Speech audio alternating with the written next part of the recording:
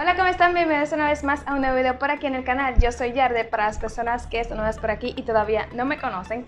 En el video de hoy, como podrán entrar en el título, es otro video de Cocinando con Yarde. Aunque todos los videos en realidad son cocinando porque todos mis, bueno, la mayoría de mis videos últimamente son solo de cocina. Hoy vamos a hacer una receta que hace mucho que yo quería hacer. Como podrán entrar en el título y en la miniatura, vamos a estar haciendo un pastel de zanahoria o un pan de zanahoria. Yo lo he probado antes y entonces yo quería intentar a ver cómo me salía a mí. Así que si quieren ver qué tal me salió, vamos una vez con el video. Yo aquí tengo ya todos los ingredientes que voy a utilizar aquí en la mesa. Yo les voy mostrando mientras lo vaya haciendo.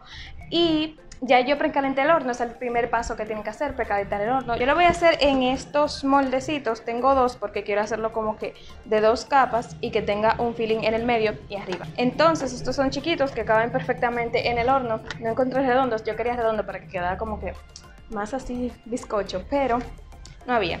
Así que lo voy a hacer en esto. Aunque yo les voy a decir los ingredientes mientras lo vaya echando aquí en el bowl. Yo les voy a dejar la lista en la cajita de descripción para que ustedes lo tengan ahí y se les haga también un poquito más fácil. Eh, la receta original, las cantidades son para 12 personas y como raro, yo lo voy a dividir a la mitad para que queden un poco más pequeño y que no sea tanta cantidad. Entonces, lo primero que vamos a hacer es mezclar los ingredientes secos. Yo voy a estar utilizando harina integral para hacerlo un poquito más saludable. Entonces, en el bowl, como les dije, voy a dividir hasta la mitad. Yo voy a añadir una taza y media de harina integral. Le vamos a añadir una cucharada de bicarbonato de sodio una cucharada también de canela. Yo siento que esto ya es a tu gusto porque hay gente que no le gusta, entonces como que... Y ya para ingredientes secos, media cucharadita de sal. Bueno, dice una... Eh, sería media y un cuarto. Le voy a echar media, porque ya como que media me parece demasiado. Entonces le voy a echar media. Y ahora vamos a mezclar todo esto. Ya que esto está integrado, lo vamos a dejar a un lado y en otro bowl que yo voy a utilizar este, vamos a mezclar los ingredientes húmedos. Lo primero que vamos a añadir es media taza y un cuarto de aceite vegetal. Le tenemos que añadir azúcar. Ellos usan azúcar blanca, pero yo voy a utilizar azúcar morena. Ya el azúcar blanca lo vamos a utilizar para el frosting. Una taza de azúcar. Entonces, aquí va media taza. De verdad es una taza. Es una taza porque el original, una taza. Y aquí va la otra mitad. Y ahora lo mezclamos. Originalmente yo lo hacen con una batidora eléctrica, pero no creo que sea como necesario, según yo. Entonces lo voy a hacer a mano. Ahorita yo poniendo el azúcar morena cambia el sabor o sale diferente, pero ya, it is what it is. Ya que quedó así, integrado según yo, le vamos a añadir los huevos. Yo voy a utilizar dos huevos. Vamos a añadir uno, lo mezclamos y luego añadimos el otro. Ok, ya tenemos un huevo aquí. Mezclamos. Y ahora añadimos el otro.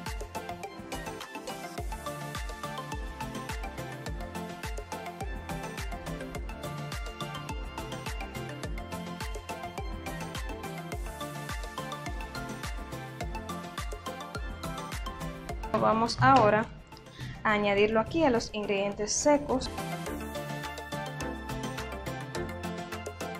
Y ahora lo incorporamos. Ok, ya que nuestra masa quedó algo así, yo en realidad siento que está como que muy espesa. No sé añadirle un poquito de leche, porque es que yo siento que está como que muy, muy muy espesa, ¿ven? Bueno, yo lo que voy a hacer, le voy a añadir los demás ingredientes y luego veo si le agrego un poquitito de leche, aunque la receta original no lo dice, pero vamos a ver. Para que esto se convierta en pastel o pan de zanahoria, obviamente hay que añadirle zanahoria rallada. Yo tengo aquí la mitad de una zanahoria grande que viene siendo el equivalente de una taza y media rallada, cruda. Entonces lo vamos a añadir aquí. También aquí yo tengo nueces. Ellos en la receta original utilizan nueces pecanas, pero yo no encontré. Y yo he visto que también lo hacen con estas nueces que son... Eh... Yo le voy a añadir estas nueces, que le voy a poner una foto y el nombre por aquí porque no me acuerdo. Yo creo que también le hice como que simplemente nueces, pero no sé son todo, pero en fin. No le voy a echar todo porque quiero dejar un poquito para la decoración. Y más o menos así, yo no sé si se ve, Voy a dejar para la decoración, que lo voy a picar un poco más y ya voy a añadir el resto aquí. Y también pasas. Yo sé que a mucha gente no le gusta la pasa, entonces si usted no le gusta tú la puedes meter, pero yo he visto y el que he comido también le echan pasas, así que voy a echarle una cajita de pasas. Y ahora todo esto lo vamos a mezclar. Yo creo que sí necesitaría como un chima de líquido porque en realidad dependiendo la harina, algunas absorben más líquido, otras no. Entonces quizás le eche un poquitito de leche.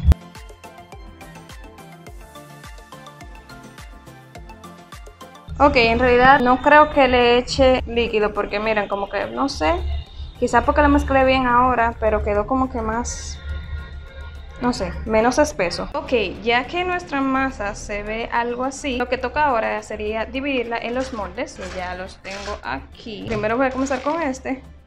Vamos a dividir la mitad. Tomen en cuenta que el molde debe estar previamente engrasado para que no se nos pegue. Sé si este es exactamente la mitad, pero yo lo puse al ojo ahí. Ya que están algo así, los voy llevar a hornear durante unos 40 minutos o hasta que cuando yo entro un, palillo o un cuchillo, este salga limpio. Bien, en lo que los pasteles están horneando, vamos a ir haciendo el frosting o el filling. Aquí en este bowl voy a añadir media barra de mantequilla. Ah, por cierto, todos los ingredientes tienen que estar a temperatura ambiente. Ay no, yo creo que esto lleva la barra entera. Sí, yo voy a añadir la barra entera porque media barra es, es entonces a esto le vamos a añadir queso crema que también tiene que estar a temperatura ambiente. Voy a comenzar añadiéndole la mitad. Añadí así la mitad del queso crema. Creo que así va a estar bien. Ven que si, o sea, yo lo puedo mezclar con la cuchara y se mezcla fácilmente. Aquí yo tengo una taza de azúcar pulverizada o azúcar glass, que simplemente tú tomas el azúcar blanca, lo pones en la licuadora y se hace un polvo y se hace azúcar glass así. Entonces como que queda bien porque se diluye y no quedan grumitos. Entonces yo no creo que le vaya a añadir la taza entera. Le voy a añadir la mitad, lo pruebo, veo que sabe y lo voy a integrar. Entonces ahora esto con ayuda de un batidor vamos a mezclar. Al estar todo a temperatura ambiente hace que todo se integre más fácil y no hay que mezclarlo como que da menos brega para mezclarlo.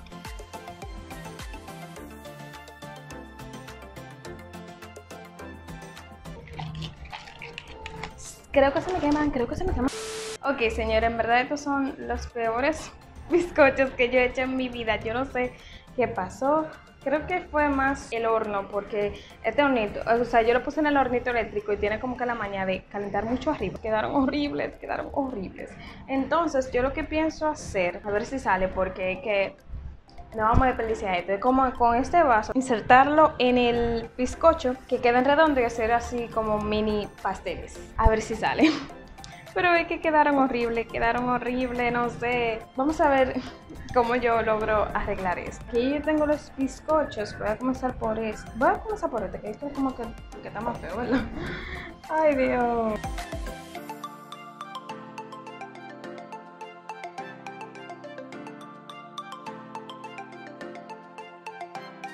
Bueno, yo con esto como que lo voy a desbaratar y voy a hacer bolitas, como si fueran K-Pops, porque esto no se va a. Tengo el frosting aquí, voy a intentar ponerlo aquí.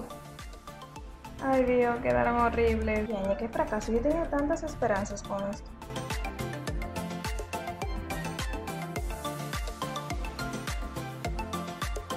Yo me siento como que si yo estoy en Masterchef, una cosa así, que me salió algo horrible y yo lo estoy tratando de arreglar. Nada, eh, yo voy a llevar esto a la nevera a ver qué tal queda. Ok, con esto yo lo que voy a intentar hacer bolita, algo así. Yo lo que voy a echar un poco de esto y un poco de esto. Miren, en verdad yo estoy inventando.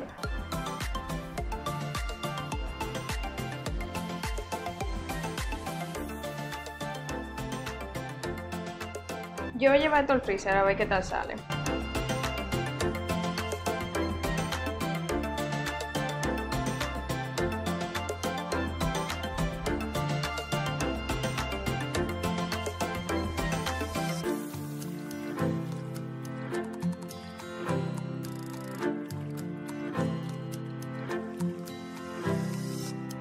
ya así quedó. Yo lo traté de arreglar un poquito, le tuve que poner dos palillos porque se estaba desbaratando, estaban como cayendo. Y también le puse como el frosting por el lado. Se ve mejor. entonces yo voy a probarla a ver ahora. Importante que sepa bien, entonces.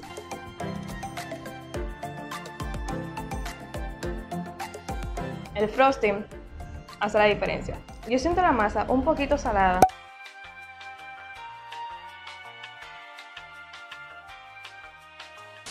Sí está bueno. O sea, en verdad yo pensé que iba a quedar mejor, obviamente. No es la textura ni el sabor que yo esperaba. Ok, vamos a probar uno de estos rápido porque se me está descargando la cámara. Esto es tan bueno, pero sí se lo siente la sal. Bueno, y esto fue todo por el video de hoy. Espero que les haya gustado. Para que ustedes vean que no todo siempre me sale bien. Si lo quiero volver a intentar, quizás con otra receta. Pero ya eso se lo voy a mostrar por mi Instagram, por un IGTV o quizás por mi TikTok. Así que estén atentos a mis redes. Son estas que están aquí para que no se lo pierdan. Si son nuevos para aquí en el canal, los invito a que se suscriban. El botón rojo que está allí debajo es completamente gratis. Subo video todas las semanas, así no se pierden ninguno. Déjenme saber allí debajo en los comentarios qué otro video les gustaría ver por aquí en el canal. Y nos vemos en la próxima. Chao.